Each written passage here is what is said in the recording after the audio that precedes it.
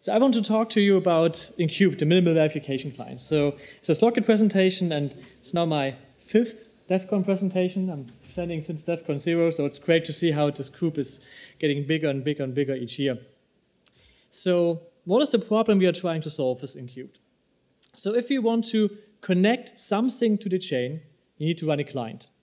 And you can either run a full client, which needs, needs a lot of storage, a lot of bandwidth, a lot of, a lot of computation, or you can at least say you run a pruned full client. With this, you just say you throw away all the past states, you just keep the current states and the blockchain. This is still considered to be a full node, of course, because you have all the information available to recreate all the data. But of course, if you think about IoT devices or mobiles, this is far too, far too much.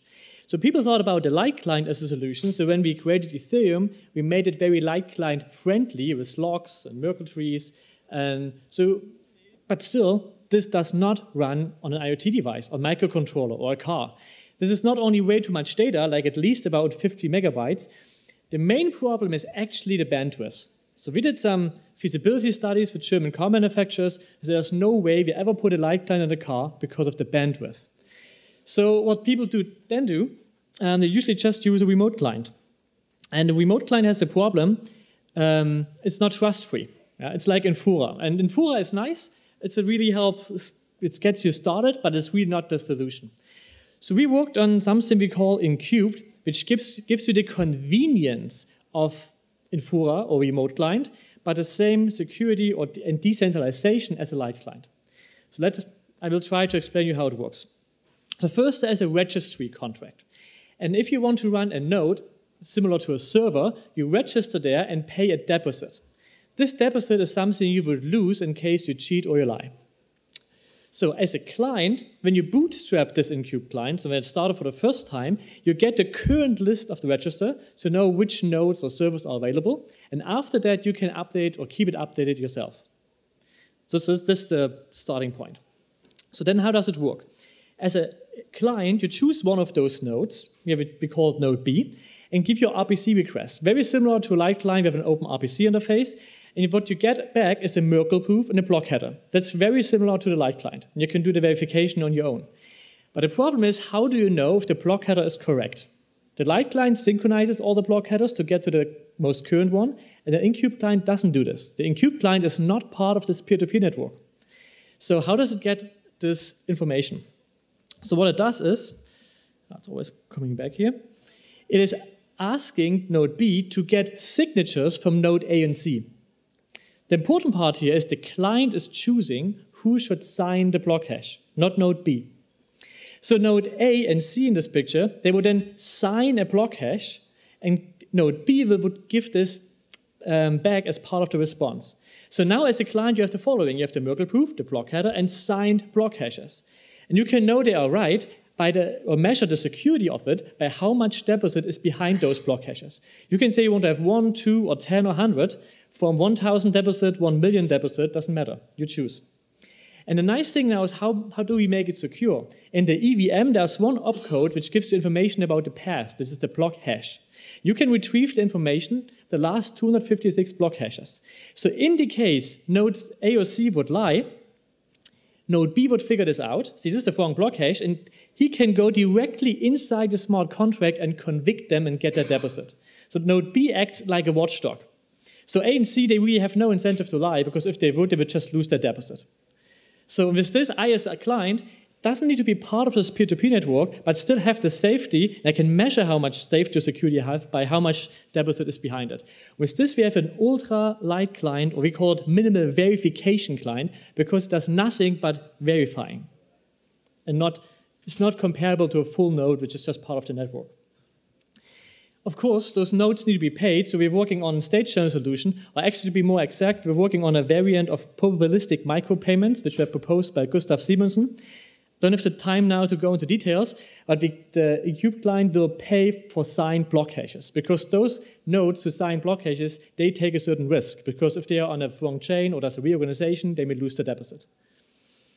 So with this, we have an incentivized system where this Incubed client can always be connected to the chain without being part of the peer-to-peer network. The nice thing, it doesn't need to store anything than the code itself. It does not need to synchronize, doesn't need to store block headers, doesn't need to store the state.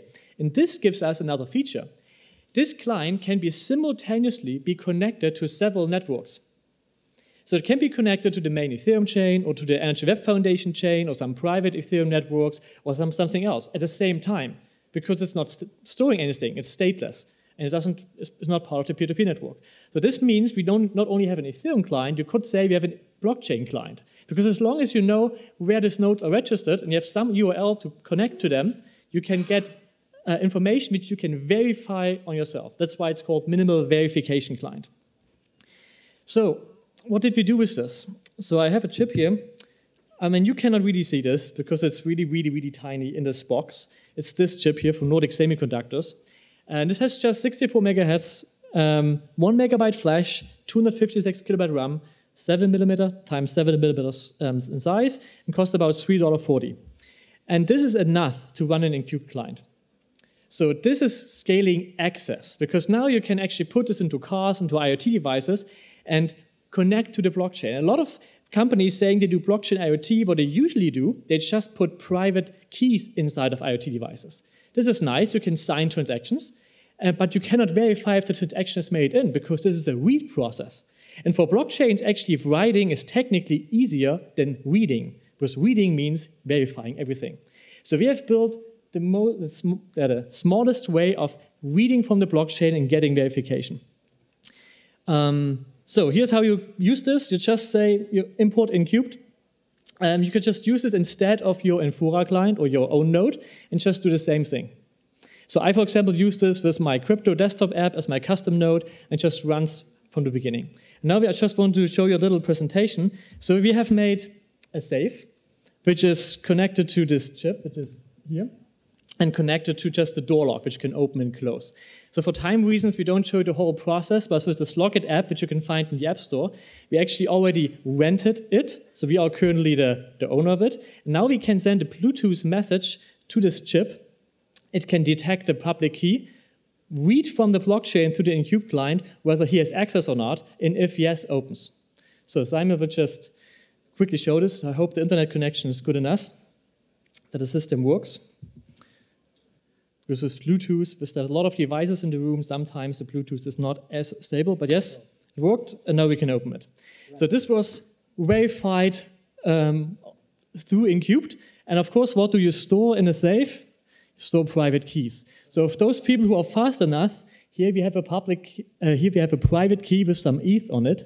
So you better make some photos, and whoever gets it first can get some money here. So this is the private key we stored in the safe. Um, this just to show you what Incubed, what you can do with in Cube. So I hope this becomes the client you use if you just are on your mobile phone, IoT devices, but maybe even your laptop, because most people even don't run their full node or something on your uh, machine. Okay, thank you very much for your attention.